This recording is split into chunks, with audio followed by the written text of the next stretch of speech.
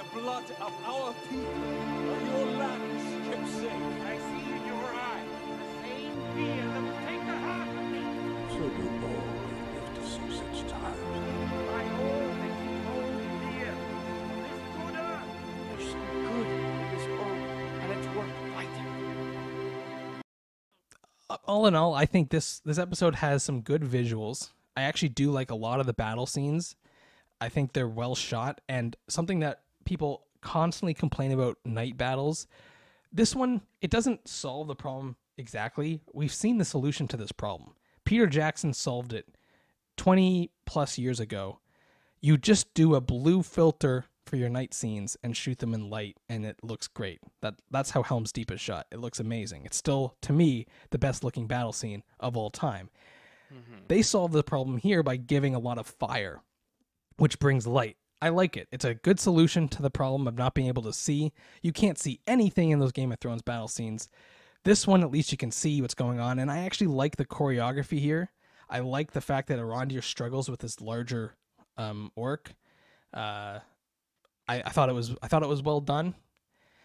Um, heck, even Elendil gets taken down off of his horse and, and is almost killed, and Halbrand saves him. So, uh, yeah, all in all, I thought it was a really good battle scene. I just wish it was spaced out a little bit more with the previous episodes, um, because basically this whole episode was battle, or for the most part battle, and and then volcano. The problem is, it it then is it's kind of like a weird episode because you didn't get any like story. So now the next episode might just be all story with just characters talking and you don't get enough action and that, sometimes that people start like daydreaming and they, they miss stuff and so you then end up having these scenes that are very important that people completely miss because the, the show wasn't keeping them on, on the edge of their seat like like having throwing a battle in combined with a character struggling with something. That's why Peter Jackson's films are such masterpieces. It's not just battle for an hour at the end of the uh, the second two films. It's intercut with Frodo trying to do something or with um, other characters trying to do something and like it keeps you wanting more battle but then when you go back to the battle you're like oh but but Frodo's also we need to get back to Frodo to see what he's doing like he, it, it keeps you wanting more every cut and that's what I think this show is a little bit lacking of. Um, but that's that's my thought. I don't know if you have anything that you want to add there about just the structure of the show so far. Well, I'm just, I'm just, uh, the fact that season two's a couple years Yeah. away, and we still have a lot to resolve in the next two episodes before the season is over. Do do you need so so I guess the question is do you personally need Sauron to be revealed by the end of this season? Like No, do you think it's Sauron. okay to keep that mystery going or so I'm I'm conflicted. Personally, I don't need Sauron to be revealed because I'm already invested in the show. But I can see people who are more casual viewers needing some progression there. We need bigger clues. The Meteor Man, we know nothing about this guy, and we're almost at the end of this season. This guy doesn't even know who he is yet, it seems. And we're at the end of the season. So I, I can see people wanting some of these aspects to progress more than they have. Uh, we have two episodes left, like you said.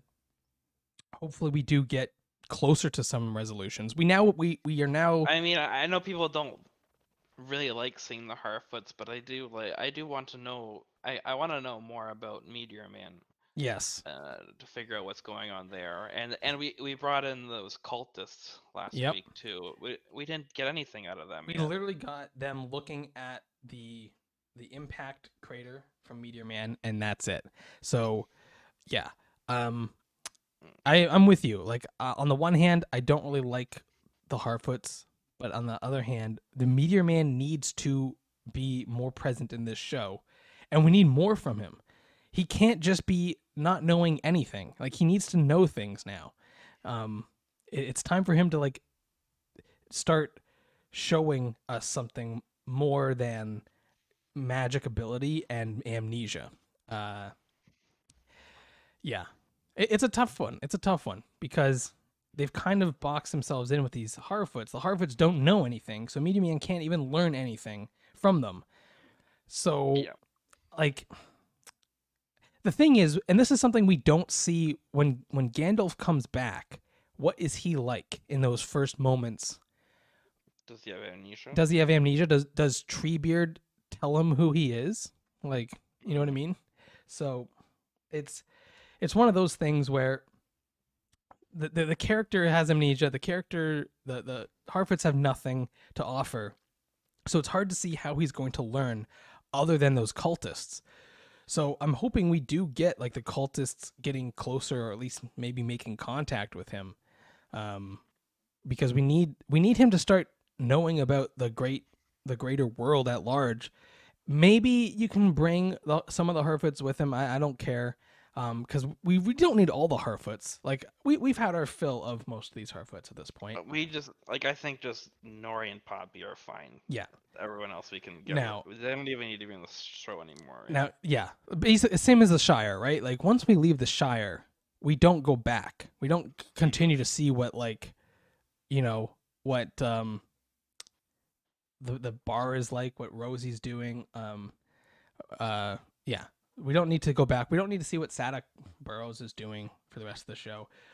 Now, just real quick before we before we end it here, uh, you said you wanted to see Nori and, and and Poppy potentially go with Meteor Man.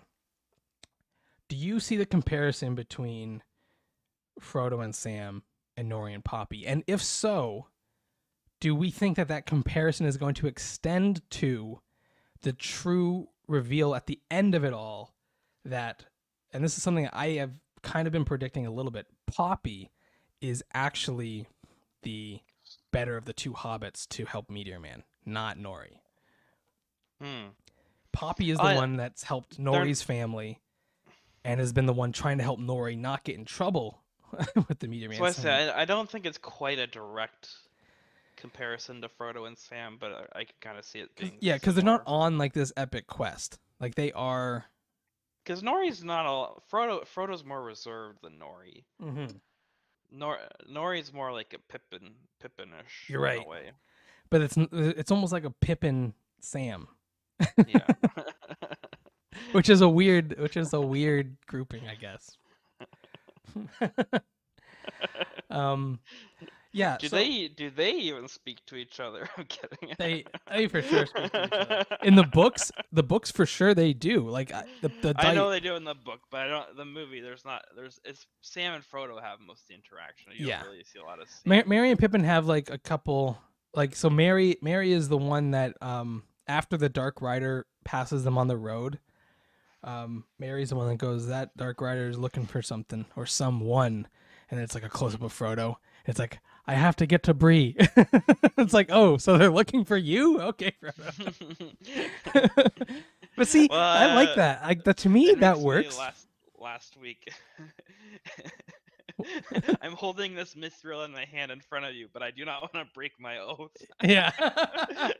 But see to me it works with Frodo and it doesn't Or- work or- there. Or, the, or there's a part where uh, Glorfindel, Glorfindel's like, "Yeah, we were using you to try to to figure this out," and then Dur- and then um, Elrond just said, "So Durin was right." and then Glorfindel's like, "So do they have mithril or not?" I can't break my oath. just saying, "Oh, so Durin was right." yeah That's breaking your oath. yeah but see it works with frodo because frodo is a hobbit and it's got this level of innocence to it where it's like i can't tell you what i'm actually doing Merry just help me get to Bree. and Merry being a good friend is like okay no more questions asked let's get frodo to Bree. like it, i like that that um camaraderie there but you're right when it's when it's your king asking you do you know if the dwarves have mithril and then your first line is I can't tell you. right. um, oh my God, Durin was right. Durin I right. I can't tell you anything. oh, so you did find mithril, but you swore a blood oath that you can't tell me about it. Okay, I got you. Wink, wink, nod, nod. But no, the king is dumb, and it's like constantly like, I just need you to be honest. Yeah, whether they have it or not. It kind of reminds me of that scene from Game of Thrones where the king is Yeah, like, yeah. "So you've seen my daughter and my brother in a brothel together? What does that mean? They- what do you I mean? What does that But mean?" they they do that again with uh, the the uh, So, what's Cilla- this- I don't- s- the Celebrimbor is asking him as well. Yeah. No, no, but they do it again in Game of Thrones with um Strong. I, I forget his first name, but the new hand. And he's trying to resign. And Oh, yes. Like, why? Why are you trying to resign? He's like, can you say it plainly? He's like, no, I can't say it plainly because because everyone you'll you'll execute. You'll end up executing my son and my my grandchildren. Yeah. if I tell you." And then the king, the king is straight up like, "Well, then I'm not gonna let you go because nothing happened." I'm like, wow, you are like the craziest, most laid back dad of all time. And I mean, I'm one who always kind of liked and pitied Robert Baratheon, but damn, do I miss like Robert Baratheon would have at least been a bit more like, wow, what is going on in my kingdom? This king is like straight up, I don't care. I don't care about any of it. See no evil, hear no evil. Yeah. And it's funny because, and this is why I struggle with that show, is that in a previous episode, when he finds out that there's a even a rumor that his daughter was sleeping around with someone, he's like, "Bring me your spy. I'll take its eyes." And it's like, whoa, he just went like insane for a second, and now he's like, "Yeah, I don't care. I don't. Whoever these rumors are nothing. You can stay on as the hand. I don't care." yeah. So yeah, it that the king is really both kings like Gil, poor Gil-galad. They they kind of did him a bit dirty here because you know I think they they think like the writers think that they've got this king Well, who's got some plot. Because because Gil-galad needs to be likable by Yes, the end. and he's he is- not. he is the hero in the original story. Yeah, and he's he- not he- likable here. Yeah. So we we need he needs uh, I think that's actually a harder task than Galadriel cuz I actually can i have some ideas as to how I would turn Galadriel um back to the side of good. Gil-galad I got nothing cuz we don't get enough of him. He's literally a dick to everyone. He's dumb. His plans are nonsensical. And it's just how do you make this character become the hero when he gets hardly any screen time and when he does it's something stupid so uh, i'm worried about how they handle the Gil-galad and the and the other elves um elrond i can like i'm he's already likable i already like He's- this character a, Elrond's extremely likable, and Like- as is Durin. yeah They're likable. They're likable characters. I mean, heck, Um, I've even seen people who hated the idea of having uh, Disa. They like Disa as a character. They they don't like the fact that that like who she is and and like the fact that she's in the story. But once they saw her on screen, she's a good dwarf. Like she plays it Yeah. well. The Yeah. problem is these characters are barely anything to the show. So like we've got these fun characters there, and we've got some fun characters like you and me. We like this idea, uh, like we like Waldreg. We kind of like this character, and we like the actor. But like these aren't the main. Like you need to make your other characters likable that are actually important to the story. You can't have all these side characters be fun. Like I like Halbrand. I think he. I think the actor is starting to really bring it together for me. Um, he's got these shifty eyes. He's uh, you know, he's both helpful but also holding something back. I think the actor's doing an okay job there, but he's nothing because he, he maybe he's Sauron, but like he's not like really what I'm looking for at the end of this is to see how Galadriel and Isildur and Elrond and and maybe Durin come out of all of this. And especially Galadriel is way off the mark from where she needs to end up at. At least the other ones are almost there. Like if nothing changes with Elrond, I'm still good with him eventually becoming the Elrond of Peter Jackson's movies. Like it makes sense to how that character would progress. We do need a bit of a falling out with the dwarves, I admit, but he, he's basically at the level of of professionalism that I've come to expect from him. Um, and Elendil is just straight up killing it. Like this is making me. I- th- let, let me. I'm gonna say something, and I might cut this and post it. Just this line. Elendil, the the actor playing Elendil, is making me more appreciate the intro to Peter Jackson's films. Like that's how good I think this actor is handling the role and how good this character is right now. he's making me look back and see Elendil being um, hurt by Sauron and and making me appreciate that scene more than I did before, which is just I did not think that was going to happen in this show. So I'm hoping we also get that with Elrond. I can see it coming because already Elrond has gone through some really good character progression. All we need is something with him and Durin to have him have a little bit of a falling out with the dwarves where he does end up almost in a twist where he's he is so mad that the friendship is ruined that he now overly doesn't like or doesn't trust the dwarves. He doesn't it's not that he hates dwarves, it's that he he has to end up not trusting them to do the right thing. And that's I can see that coming, especially if Durin is tricked by his own father or something.